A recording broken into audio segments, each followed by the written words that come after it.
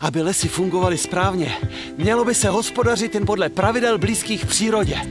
V některých zemích garantují šetrné hospodaření certifikáty. Ty zaručují například, že se v daném místě vyskytují jen původní dřeviny, že se do evropského lesíka nenasadí třeba bambusy nebo banánovníky, nebo že se využívá přirozené obnovy lesa. Stromy se nechávají zestárnout, klidně i zetlít a jsou pak domovem pro další živé tvory.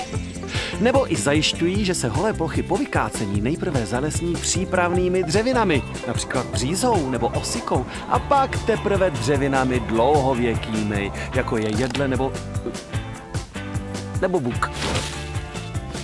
Certifikáty také omezují používání chemie, která často mění složení půdy a, a může dokonce hubit některé organismy žijící v půdě. Co můžete udělat pro zachování biodiverzity v lesích vy? Je důležité při nákupu výrobků z dřeva vybírat ty, které jsou vyrobené z certifikovaného dřeva, neboli dřeva pocházejícího z lesů splňující přísné požadavky na udržitelné hospodaření. Více o certifikátech naleznete zde.